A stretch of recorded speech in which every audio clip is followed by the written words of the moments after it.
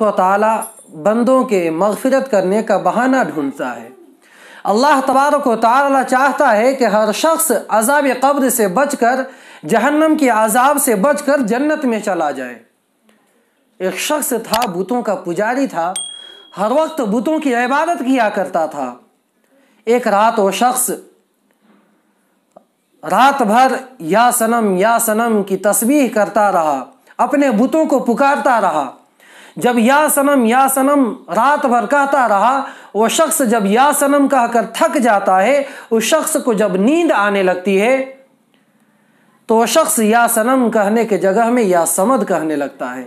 ज़ाहिर सी बात है कि कोई शख्स जब किसी शख्स को नींद आने लगती है तो वह शख्स बोलना कुछ और चाहता है और उसकी ज़ुबान से निकलता कुछ और है। उस शख्स के साथ भी ऐसा ही होता है। वो शख्स तो कहना चाहता है, या सनम लेकिन उसके ज़ुबान से या समद जारी हो जाता है।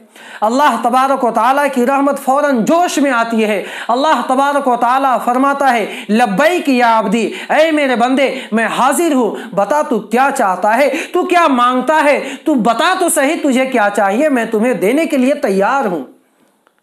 फरिश्ते ताजुब से पूछते हैं कि, अल्लाह ये शख्स तो बुतों का पुजारी है बुतों की इबादत किया करता है।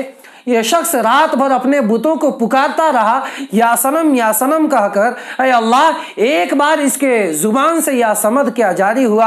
आप इसको हर कुछ देने के लिए तैयार हैं, आप इसको नवाजने के लिए तैयार हैं? अरे अल्लाह, इसमें क्या राज है? अल्लाह तबारक वाली फरमाता है कि फरिश्तों जो कुछ मैं जानता हूँ वो तुम नहीं जानते। ये शख्स यकीनन रात भर या, या सनम या सनम पुकारता रहा और गलती से एक बार या समद इसकी ज़ुबान से निकल गई।